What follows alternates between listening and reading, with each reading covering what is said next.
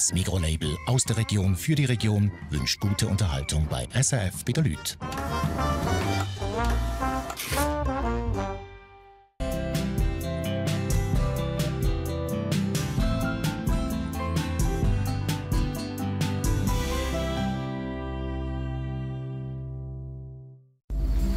Eine Sommersaison auf der Hütte oben.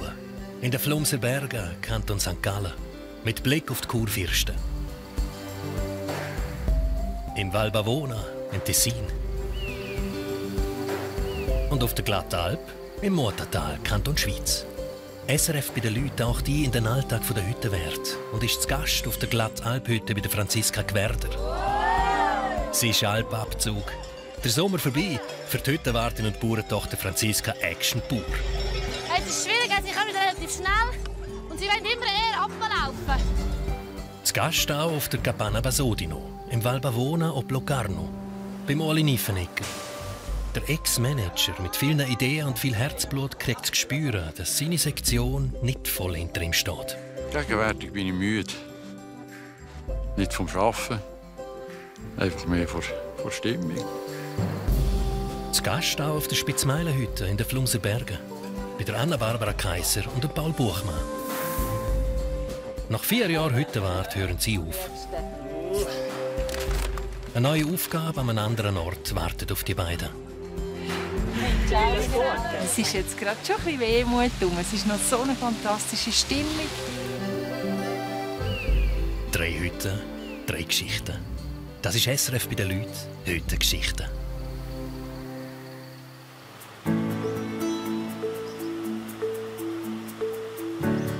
Die glatte Alp, Anfang September. Die Hütte ist noch offen, aber es gibt klare Anzeichen, dass jetzt die Saison bald vorbei ist. Nämlich dann, wenn sich die Bauernfamilie Gwerder von der Alpabzug bei der Franziska in der Hütte trifft. Die Bauerter. Was gibt's? Weil du siehst. Die Gwerders haben die Alp gerade neben der SC-Hütte. Hast du gesehen? Es ist, die Berge sind schon ein bisschen angezuckert. Ein Sommer lang haben sie quasi Tür an Tür geschafft. So nass. Für mich ist es einfach wirklich so der Anfang vom Herbst, so die Rinder zu holen und eigentlich einer der schönsten Tage, um zu helfen, dem Teddy und meinem Bruder, dass äh, ja, die Rinder nachher gut abbekommen. Wie jedes Jahr gehen alle Bauern und Hirten zusammen runter und helfen sich gegenseitig. Der erste Knackpunkt, die Rinder auf dieser weiten Hochebene überhaupt zu finden. Da kannst du viel wissen. Nein, man sieht gar nichts von der Nähe. Wendel gesehen nicht mehr. Wo? Da? Dort. Sie sind alle ein bisschen eher da, der Karren raus. Jetzt hier müssen wir schnell schauen, wo sie ungefähr sind, dass man nachher kann sagen du musst dort raus in die Karre holen und dort, dort hinten sind auch noch Rinder. Und jetzt sieht man, gerade, sie sind sehr verteilt und weit draussen. Also haben wir heute ein länger. Also teilt man sich auf. Die einen da, die anderen dort. Und treibt so die Rinder alle an einen Ort zusammen. Das ist gar nicht so einfach. Sie wollen nicht immer folgen. Diesen Viechern gefällt es gut auf der Alp.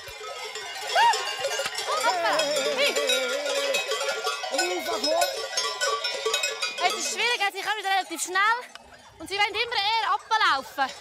Und wir haben sie letztes Jahr oben ein weiter oben hoch gemacht, dass er da oben bleibt. Weil Sabi hat das Schlechteste, wenn sie uns vergumpelt. Dann müssen wir alle noch mal holen und wieder von vorne anfangen. Aber wir hoffen, sie kommen jetzt schön um Teddy nachher. Der Daddy, der Vater von Franziska, ist klar der Chef auf dem Platz. In seiner Nähe traut sich kein Kuh aus der Reihe zu tanzen.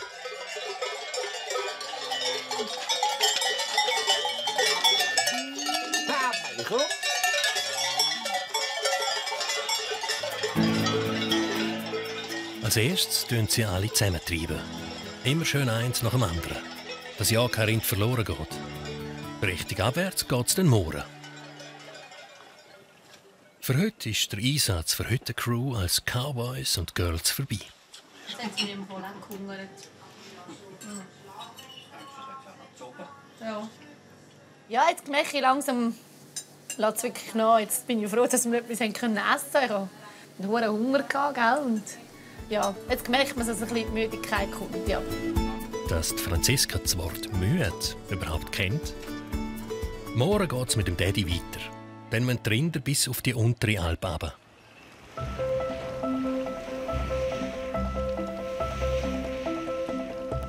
In den Flumser Bergen hat es schon ein bisschen geschneit.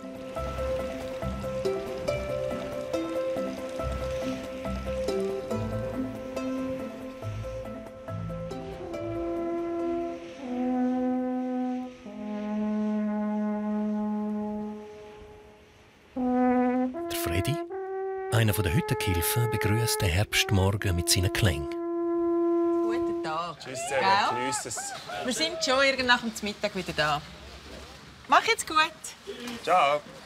Die Anna Barbara und der Paul packen die Gelegenheit beim Schopf und zeilen sich für einen halben Tag vor Hütten ab. So. Es läuft im Moment gerade nicht so viel. Am liebsten gehen sie ins Berg. Für das haben sie die letzten vier Jahre viel zu wenig Zeit gehabt. Das letztes Jahr, wo alles so viel nässer war.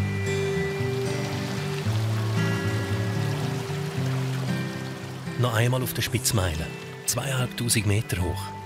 Es ist ihre letzte Saison in den Flumserbergen. Schon bald gehen sie zurück ins Nidwaldische, wo Anna Barbara herkommt. Dort übernehmen sie ein Pilgerhaus. Ich merke, dass das Loslassen dieser Landschaft, dieser Natur da oben, da ist eine Wehmut um das zu verlassen. Es ist ein bisschen gepaart mit der Hoffnung, dass wir am nie Ort ein bisschen mehr dazu kommen, mit uns zu gehen. Und wieder mehr dazu kommen, wirklich in der Natur zu sein, ein bisschen zu Berg zu gehen, unterwegs zu sein. Und da würde ich eben gerade einhängen, mehr zu Berg gehen. Ich freue mich nämlich schon, wenn ich als Gast da oben bin. als Gast und kann dort auf, auf die Terrasse hocken und sagen, Bedienung, Bier. Es ist Selbstbedienung. Ah, okay. okay. auf das freue ich mich noch. Nicht mehr müssen da unten zu wirten, die Innenzeit zu arbeiten, zu krüppeln, sondern sagen, wir sind Gast und wir können gehen. Der Paul war früher Trekkingleiter und kennt sich aus im Gebirge. Er selber hat an diesen heiklen Stellen Seile und Ketten eingebaut. Aber es ist schon noch gut, dass wir da eine Kette drin Aber ich kann heben. Ja.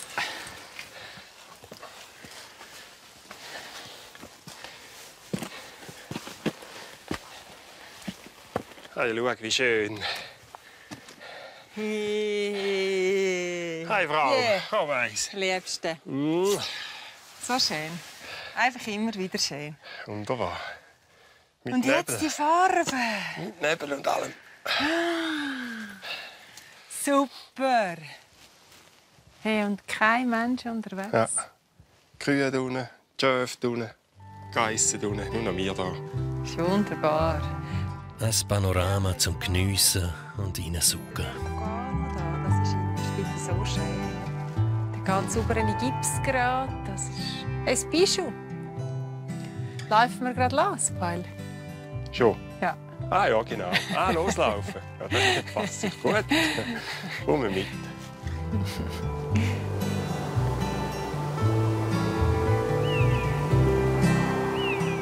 Nur noch ein kleines Momentchen. Dann geht es schon wieder zurück auf die Hütte. Die ist noch bis Ende Oktober offen, sofern das Wetter mitmacht. Ab November sind die beiden dann schon am neuen Ort.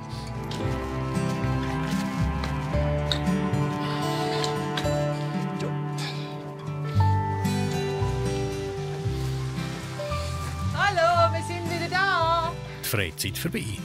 Jetzt müssen sie vor allem eins: die Hüttenübergabe sauber vorbereiten.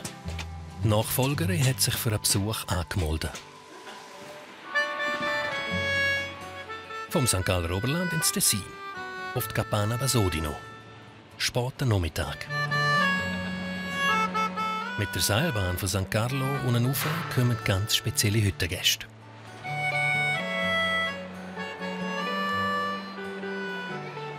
Wohle, Christoph, mich, Sali. Okay, müssen wir Willkommen. die Seite durch, oder? Ja, wir können da gerade hier oben raus. Eine Gimmiklasse aus Stanz hat sich für einen Sozialeinsatz beim Uli gemeldet. Also ihr müsst jetzt einfach da die Kurve machen und dann links und die erste Straße rechts runter. Der Hüttenwart für einmal als Gepäcktransportler. Sonst braucht er sein Privatauto zum Lebensmittel von der Bahn zur Hütte zu fugen. Freut mich, dass ihr da seid jetzt. Nach einem weiten Weg. Die Basodino-Hütte liegt nur gerade knapp einen Kilometer unter der Bahnstation. Besonders streng fährt es für die Helfer nicht gerade an. Aber das kommt dann schon noch anders. Jetzt das erste Mal ankommen und einpuffen. Der erste Eindruck ist sehr gut von diesen Jungs. Ich hatte schon andere Freiwillige, wo der Eindruck nicht so gut war. Aber da ist jetzt tiptop.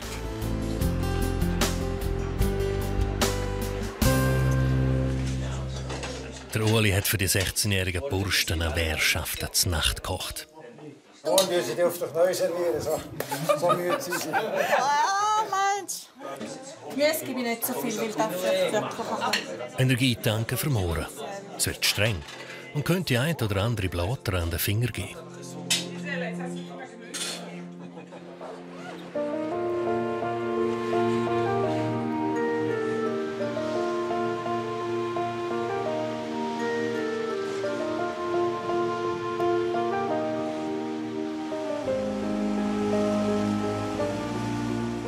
Nächsten Morgen. Das Wetter könnte nicht besser sein, um von außen zu arbeiten. Rund um die Hütte ist man gespannt, wie sich die Teenager schlünd.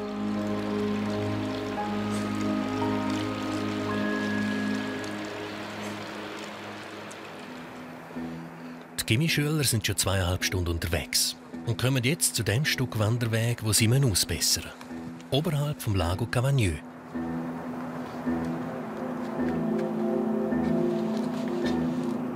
Der Gruppe wollte ich heute schauen, ob sie mitkommen, ob sie diesen relativ schweren Weg können laufen können, ob sie im schwierigen Gelände können arbeiten können und ob wir die Schwierigkeiten, die drinnen sind in diesem Gelände, können vereinfachen können. Zusammenbleiben! Pickel!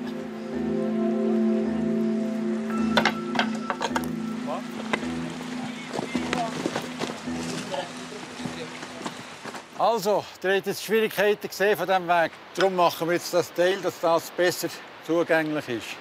Das werden wir jetzt heute machen. Also, sollten wir heute herbringen, sagen wir es so. Und nie übereinander arbeiten, immer nebeneinander.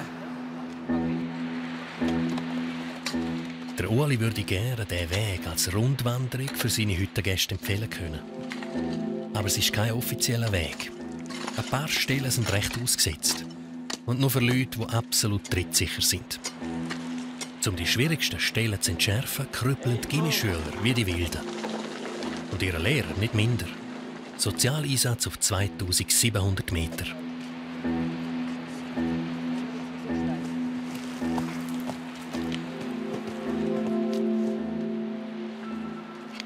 Das ist schon gut. Dann ist das etwa so, wie du dir das vorgestellt hast? Ja, das ist so. Noch besser, als wir es vorgestellt haben. Schon? Ja, tipptopp. Wunderbar. Es ist vorwärts gegangen. Oder noch wie? Nein, nein, das ist, äh, ist gut gegangen.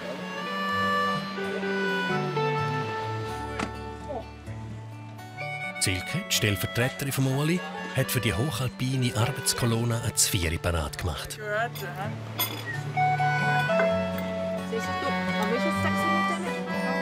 Schau, wie viel.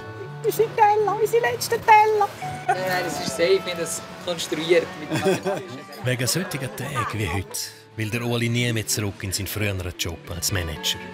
Das Zusammenarbeiten auf der Hütte ist kein Vergleich zum früheren Stress. Wir hatten ein tiptops Team.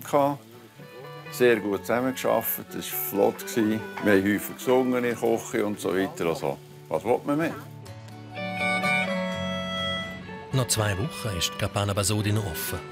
Im Winter kommt der Oli nur noch rauf, wenn sich Gruppen anmelden. Aber zuerst muss er zu seinen anderen Hütten. Drei Täler weiter, zur Capanna Alsasca. Für die Hüttenschliessung hat er dort mit den Leuten von der SAC-Sektion abgemacht.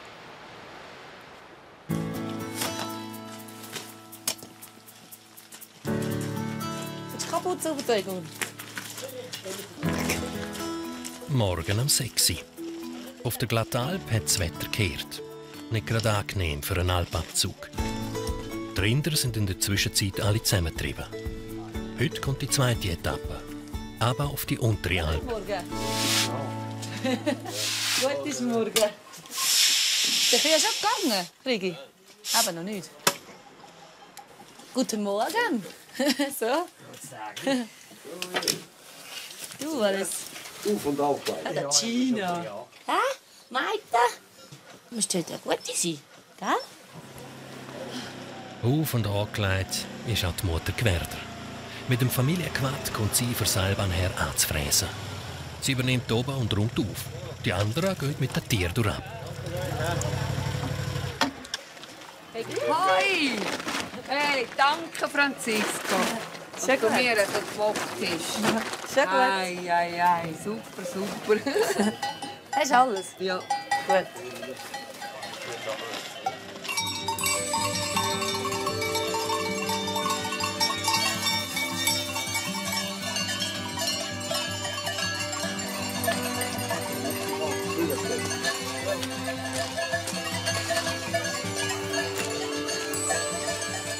Sie gehen ja tipptopp. Zählen noch. Wirst du wohl alle haben.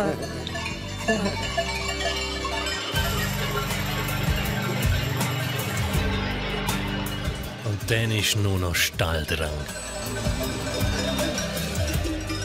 Das nasse und neblige Wetter macht den Steilweg nicht ganz ungefährlich. Ich hoffe, Sie haben alle gefunden, aber einfach, äh, wir wissen nicht, ob alle sind. Sie sehen es der ersten Stunde, ob sie alle gefunden haben wegen dem Nebel. Bis zur unteren Alp läuft alles gut. Hey, hallo! Später muss Franziska noch die Rösser holen. Aber zuerst einmal in die Wärme. Ich muss jetzt kein Wa- Wasser drüber tun.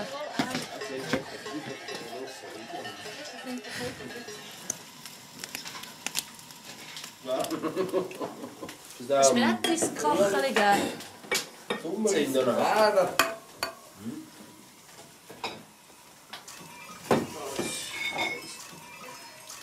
Das Jahr war wieder sehr hektisch. Einfach weil es so, einfach wahrscheinlich ein schlechtes Wetter war und alle wollten das Loch ab. Also wir müssen, haben- müssen schauen, dass wir nicht, nicht drunter kommen, weil alle ein bisschen aufeinander oben waren. Aber jetzt sind alle, so weit wie ich gesehen habe, sind alle gut abgekommen. Ja.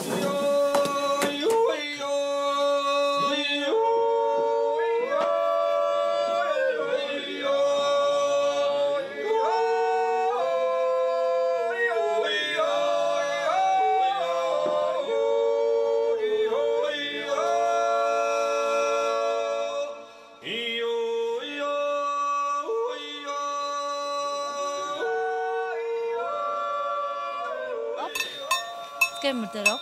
Gell? Hä? Gehen wir schön laufen. Komm. Komm du. Wir müssen schauen. Hä? Milch belappen. Ja, komm. Hä?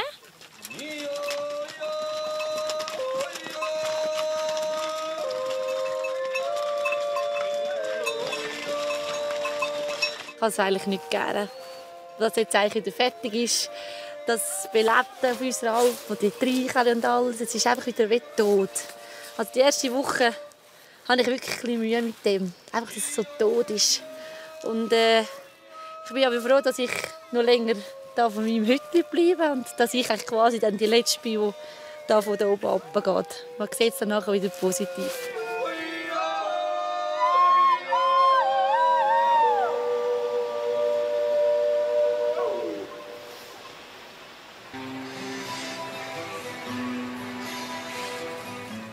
Uli ist unterdessen auf der Capanna Alzasca angekommen, weit über dem Machatal. Die Hütte gehört auch zur SAC-Sektion Locarno. Der Uli ist nicht Hüttenwart, aber so eine Art Götti. Als ehemaliger Wirtschaftsboss ist ihm wichtig, dass eine Hütte rentiert. Da auf der Alzaska-Hütte hat es dieses Jahr recht gut ausgesehen. Den auf der Basodino nicht so. Im Sommer ist es jetzt so, dass sie 6,5% weniger Übernachtungen haben. Aber der Umsatz ist gleich wie letztes Jahr. Also von dort her äh, habe ich die Steigerung nicht erreicht. Wir haben zum Beispiel jetzt im September einen Regentag. Gehabt. wo wir so viel Mittagessen verkauft haben wie nie im Sommer, was das schönste Wetter war. Also, es sind häufig immer Zufälle, die zusammenspielen und die kann ich nicht beeinflussen. Und äh, darum ist es, äh, ich wäre am falschen Ort, wenn ich mich mögen würde. Buongiorno. Buongiorno. Adrian Enrico, der heute Chef der Sektion, ist aufgekommen für den Saisonabschluss.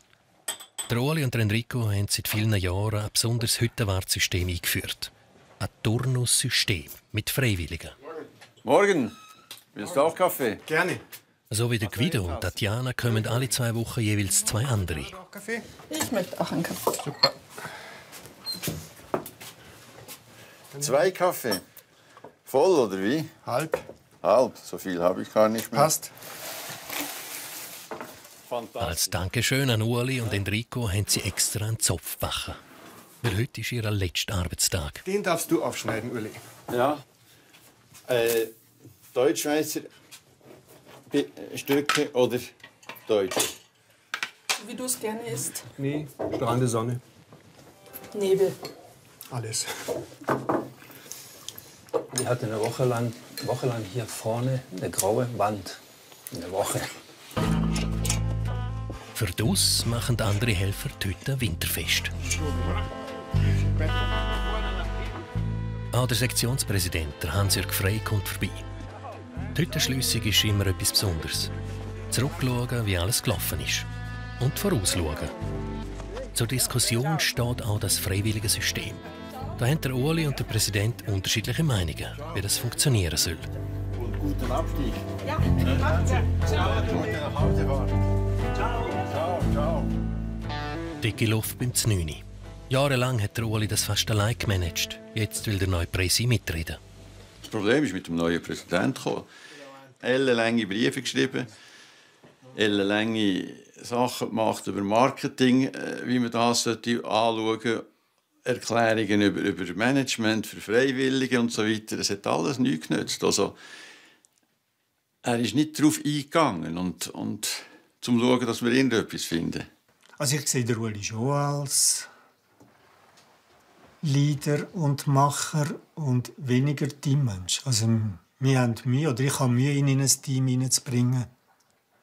Und das ist auch meine Aufgabe. Und da müssen wir so probieren. Wir müssen einfach wissen, was er macht, sodass wir jetzt nicht immer verschrecken. Nicht einfach für den Uli, der gewöhnt ist, autonom zu handeln, unternehmerisch zu denken, aber vielleicht manchmal auch ein bisschen reinzuschiessen. Die Zusammenarbeit mit der Sektion ist jetzt gefragt.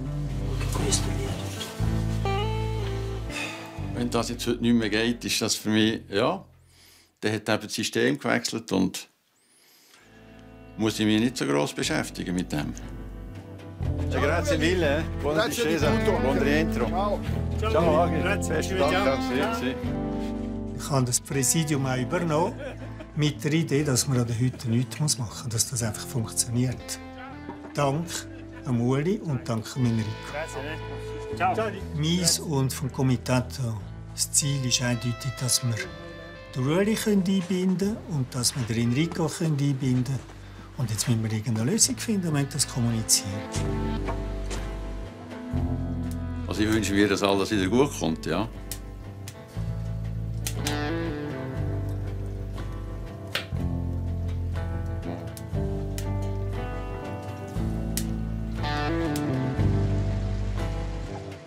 Ist noch nicht das letzte Wort gesprochen. Das mit den Freiwilligen liegt dem Uli noch gehörig auf dem Magen. In den Flumser Bergen zeigt sich der Winter das erste Mal so richtig schon im Spätherbst. Gäste hat es keine mehr. Der ideale Zeitpunkt für die Hüttenübergabe. Zum die Reservationen holen, die drauf sind. Ja. Gastreservationen. Auf Anfrage hat sich Barbara Fischer gemeldet. Eine Hüttenwartin mit viel Erfahrung. Aber nicht auf so einer modernen Hütte. Also ich sehe jetzt heute den 16. Hätten wir noch fünf. Besonders modern ist das Reservationssystem, das der Paul entwickelt hat. Also ich finde es cool, wenn die Leute selber können reservieren können. Sehen sie im Voraus, ah, da kann ich nicht, oder das ist schon besetzt. Und dann, Ja. Das ist gäbig und nimmt ja extrem Arbeit ab. Ja, es nimmt extrem. Ich meine, wir haben jetzt eben etwa 4000 Gäste gehabt dieses Jahr. Das heisst sicher etwa 1000 oder 1500 Buchungen. Und wenn man jetzt das jedes Mal hätte müssen von Hand eintragen oder die Telefon abnehmen, da, bist, da kannst du jemanden anstellen, der in der Hochsaison nur, Mhm. nur Buchungen entgegennimmt. Oder? Wenn das Handy kommt, ist es aktiv Aha, und sonst da, geht es nicht. da hat das Handy. Nein. Ah, du hast es gesperrt. Sind wir fertig? Ja. Fast. Noch ein bisschen rumspielen. Ja, das ist gut. Weißt du was? Schauen wir eins an, wo wir hingehen. Ich will dir noch Oh ja, zeigen. zeig mir Hä? Willst du hocken? Es geht schon. Geht gut. So sieht es aus. Das Pilgerhaus, das sie übernehmen. Es war eine Vision von mir, ähm, wo ich aber immer das Gefühl hatte, es ist sehr schwer, dort hinzukommen.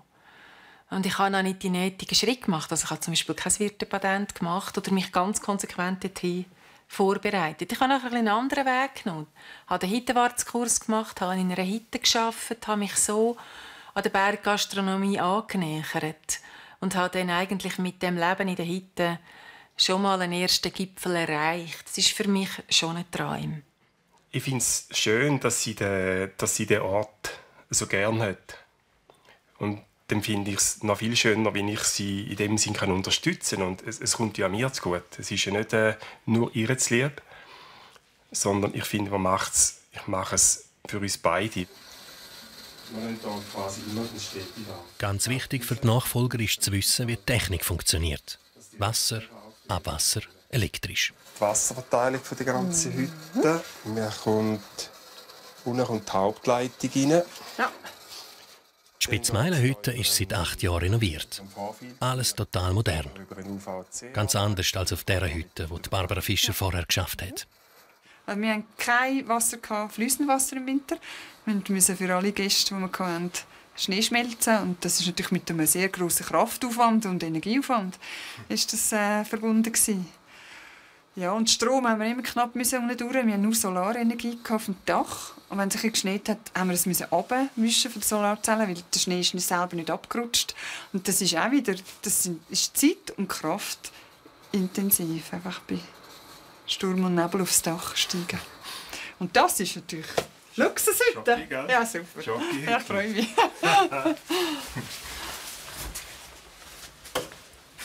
Zum Luxus gehört auch die Stromversorgung.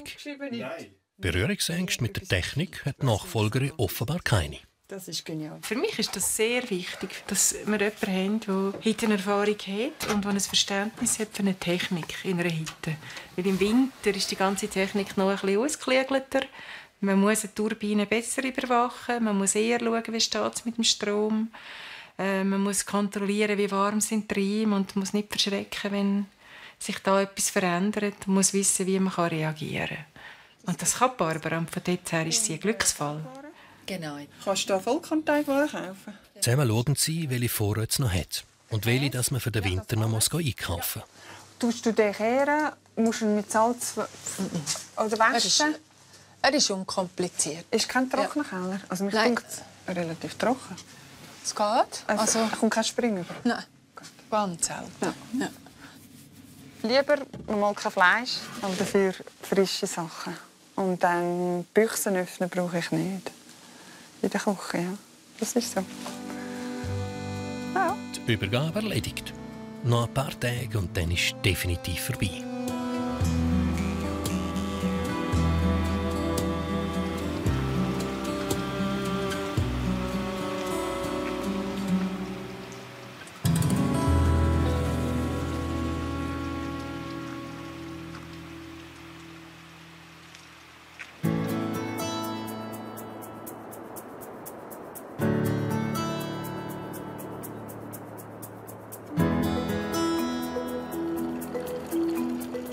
Auf der Glattalp ist der Winter gekommen. Ist sie oben? Die Saison für die Hüttenwartin und ihre Helfer geht in der Regel von Anfang Juni bis Ende Oktober. Aber wenn es schon früher schneit, dann nur so halt. Wenigstens kein Stress mit Zusammenräumen und Einwintern. Ja. Nein, hier sind Und wir gut drin. Dann noch ein bisschen Salat und so. Das, ist, das mögen wir schon tragen. Wenn wir Also da ich da den Grill noch drauf. hä? Sack ist schon leer. Ja. Wir haben wirklich gedacht, es gäbe noch ein normales Wochenende. Aber jetzt hat uns der Schnee eigentlich überrascht. Es hat zwar nicht so viel Schnee gegeben, wie er angesagt hat, aber es ist natürlich gleich jetzt alles weiß. Und unsere Gäste haben jetzt alle abgesagt. Ja, und jetzt äh, sind wir eigentlich am Planen, um alles ein bisschen fertig zu machen. Das ist gut. Mhm. Das ist die Küche, was wir etwa, wo wir etwa anfangen. Ich kann da noch ein bisschen schieben. Letztes Jahr haben wir voll geschnitten, weil es so scharf ist. Das Hüttenteam auf der Glattalphütte ist klein und familiär. Neben der Anina, die fest angestellt ist, ist Erika die treueste Seele. Morgen. Als gute Freundin kann sie jederzeit helfen, wenn man sie braucht. Guten Morgen. Es hat Schnee, hast du gesehen? Es hat voll Schnee und es ist kalt. Auch gute Dienst hat der Sommer der neue Quad geleistet. Mit dem Boliden haben sie das ganze Material zwischen Seilbahn und Hütte können hin und her karren.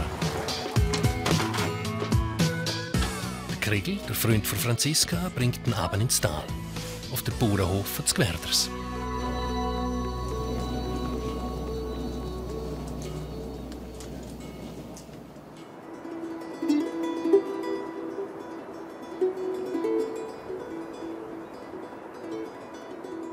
Wenn alles erledigt ist, geht es zum gemütlichsten Teil der Hüttenschliessung.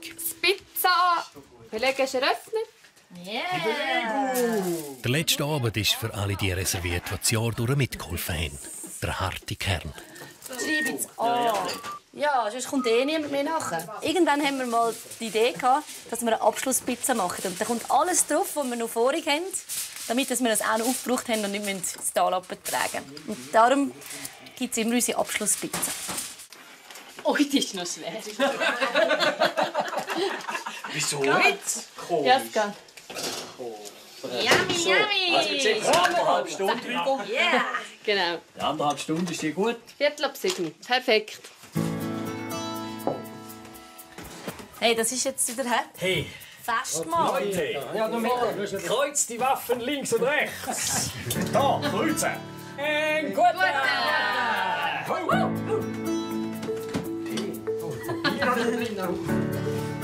Die Ellenbögel dort schon. Wir sind froh, wir haben es geschafft. Wir haben es gut geschafft, tiptop geschafft. Aber eben, wenn wir so zusammenhöckeln in unserem Hütchen, da ist man schon ein bisschen wehmütig. Oder sind wir nicht auch ein bisschen wehmütig? Doch. Ein bisschen schon. Ich habe noch. Aber das ist schon. Also, jetzt würde, wenn wir jetzt so drei Wochen haben, so, Oh, wenn wir jetzt ja. auch anhängen, hätten wir Freude, ja. Hey, Salvi. Das nächste Jahr feiert dann die Franziska das Zehnjährige. Wer weiß, wie das Abschlussfest dann wird rauskommen.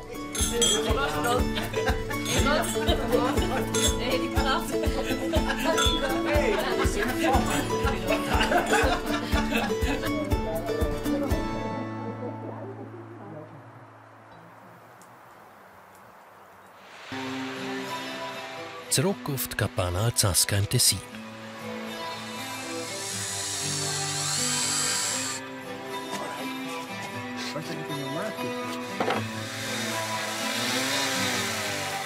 Am Oli haben die Diskussionen mit der Sektion auf die Stimmung geschlagen.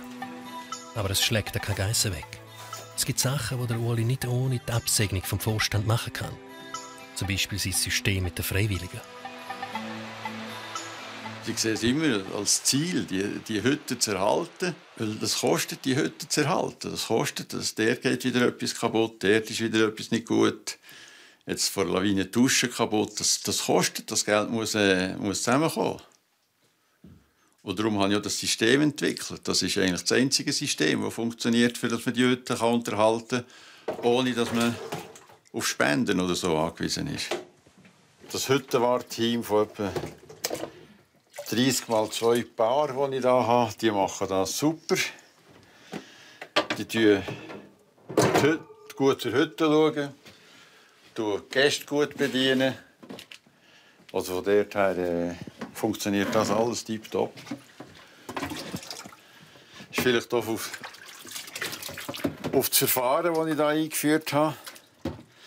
Dass man sich halt lernt kennen vorher tun sie mir etwas vorkochen und mit anderen Hüttenwärten zusammen gehe ich dort meistens, wenn sie es bei ihnen machen, sie könnten so hier Hütten machen oder bei mir daheim. Aber so lernt man sich kennen. Und die Leute, die das machen, die meinen es ernst. Also, jetzt in diesen Jahrzehnten kann man sagen, habe ich nie ein Problem mit, mit irgendetwas. Es hat immer geklappt. Ich hoffe, es geht so weiter. Ja.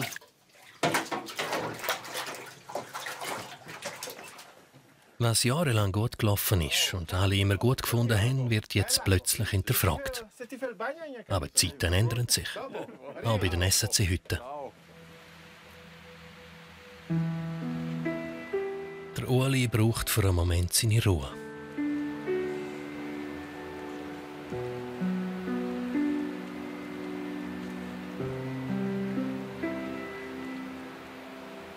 Ich habe in diesen 25 Jahren so gut Hüttenteam aufgebaut, die helfen, die Hütten vorwärts zu bringen. Und die sind wirklich alle gut. Und alle geben ihren Einsatz. Und das steht jetzt in Frage. Das ist das, was, ja, was weh macht.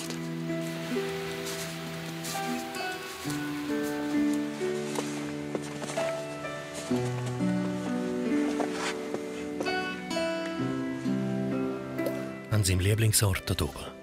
Am Lago Alzasca geht dem Ueli viel durch den Kopf. Gegenwärtig bin ich müde. Nicht vom Arbeiten, einfach mehr vor, vor Stimmung. Aber äh, das geht wieder vorbei. Jetzt hoffe ich auf eine schöne Wintersaison in Basodino heute. Gute Schneeverhältnisse, viele Leute. Und jetzt schauen, wie das Gespräch geht. Und dann habe ich entschieden. Ich kann mir auch vorstellen, Hütte zu übernehmen Deutschschweiz. Dann bin ich näher bei Frau, wäre ich schneller daheim, flexibler. Das kann man auch vorstellen. Also heute möchte ich noch bleiben, weil das gefällt mir. Aber jetzt genieße ich auf noch den schönen Moment am Alsaskasee.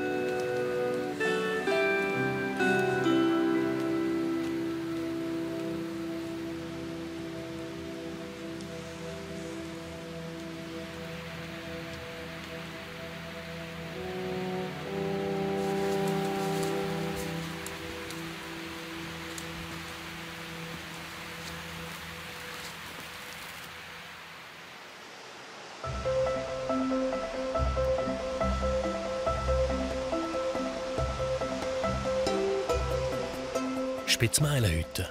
Es ist Ende Oktober. Ja.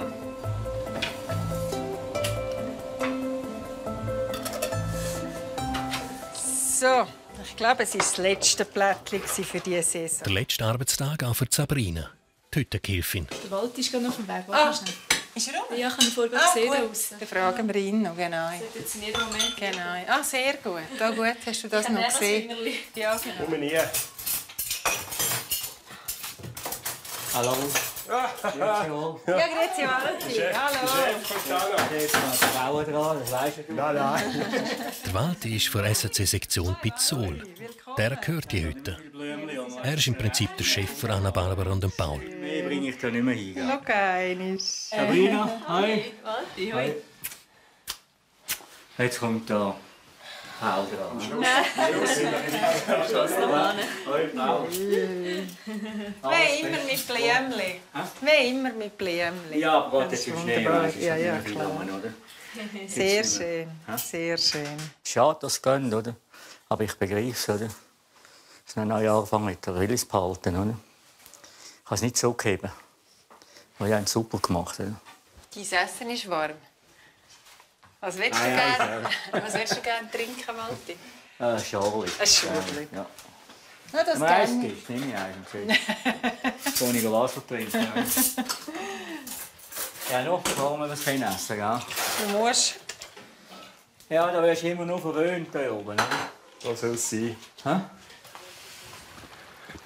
Der Paul macht unterdessen schon mal das Transportbähnli parat. Mit seinen wichtigsten Utensilien, die er an neuen Ort mitnimmt. Zum Beispiel seine Werkzeugkisten.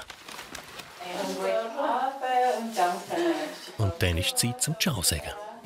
Für Sabrina war es das allererste Mal, wo sie als Hüttengehilfin geschafft hat. Und so wie es aussieht, ist es auch nicht das letzte Mal. Anna Barbara und der Paul haben sich schon engagiert für ihr Pilgerhaus. Ich hatte so Freude, gehabt, als sie mich gefragt haben, könnte eine bessere Chefin haben. Und äh, ich habe mir das eigentlich immer gewünscht, im Gastrobereich zu arbeiten. Ein bisschen in der Höhe oben, das ist super.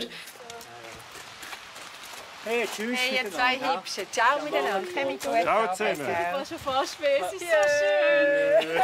Sonne und alles. Das ist extra wegen dir, Sabrina. Ciao gut. miteinander. Man auch gut Danke. hören? Ja, gern.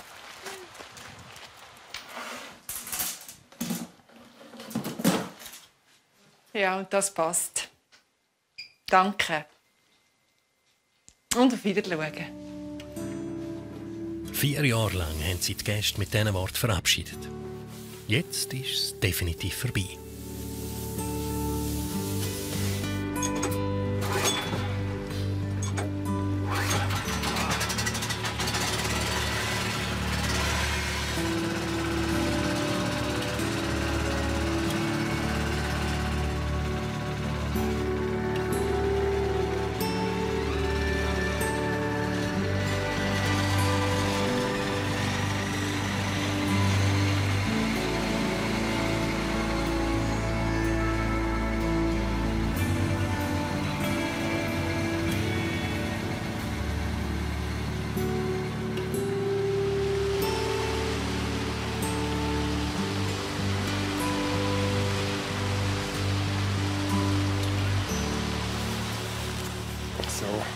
Sturmfest.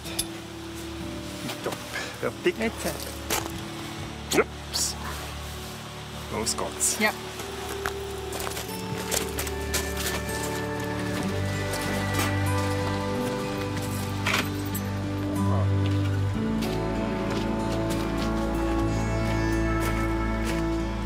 Es ist jetzt gerade schon ein bisschen Wehmut um. Es ist noch so eine fantastische Stimmung. Es ist jetzt der letzte Sonntag. Aber wir gehen weiter. Es kommt das Nächste. Es kommt wieder eine spannende, herausfordernde Aufgabe an einem schönen Ort. Ich mit dir auf das freue ich mich. Genau. Und mich freut es, zum, zum Weitergehen. Und es freut mich auch, dass jetzt so eine super Stimmung ist am Abend, mit dem wunderbaren Abendrot, mit dem Morgen aufgeht. Und mich beflügelt zum Weitergehen. Gehen wir, Frau.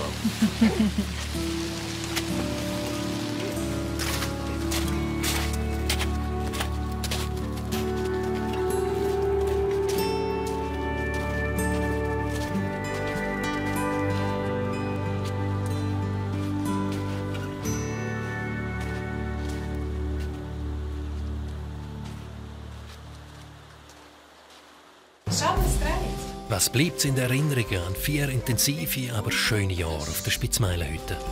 Da oben haben sie den Grundstein gelegt für ihre gemeinsame Zukunft. Jetzt kommt ein neuer Abschnitt, an einem neuen Ort, aber mit dem gleichen Ziel: Gastgeber unter dem Himmel. Erinnerung auch an Uli, der Hüttenwart mit 40 Jahren Managererfahrung, vielen Ideen, wo macht und tut, organisiert und kalkuliert und am Schluss merkt, dass nicht immer alle so denken wie er. Ausser die Steinböcke, die verstehen ihn vielleicht am besten. Erinnerung auch an schöne Momente auf der Glattalp mit der Vollgas-Hüttenwartin Franziska, wo seit neun Jahren der Spagat schafft zwischen Hütte und Kindergarten und keine Sekunde daran denkt, dass das jemals sollte ändern. Drei Hütten, drei Geschichten. Das war es von SRF bei den Leuten. Hüttengeschichten. Sie sahen SRF bei der Lüt mit Aus der Region für die Region, dem Mikrolabel für regionale Produkte.